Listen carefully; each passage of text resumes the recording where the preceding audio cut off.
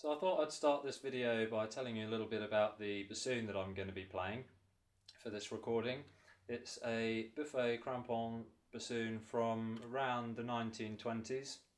Um, it's uh, it came into my family in the mid 1970s when uh, my dad uh, unfortunately had his bassoon or part of his bassoon stolen from a hotel room in London um, and he needed something to replace it and uh, found this uh, bassoon advertised in the Exchange and Mart magazine for 50 quid. Um, so he snapped it up, um, did some repairs on it because the, the bottom end was completely rotten away inside. Um, and uh, I inherited it as my beginner bassoon um, when I was around uh, 10 years old. And uh, I really struggled with it uh, to play on it uh, when I started. Um, but coming back to it, you know, later in life, it's uh, it's actually got some wonderful qualities.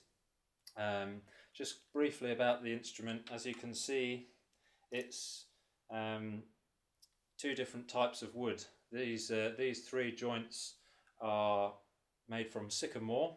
Beautiful uh, sort of tiger stripe effect on the wood. It's really lovely um, incredibly lightweight as well.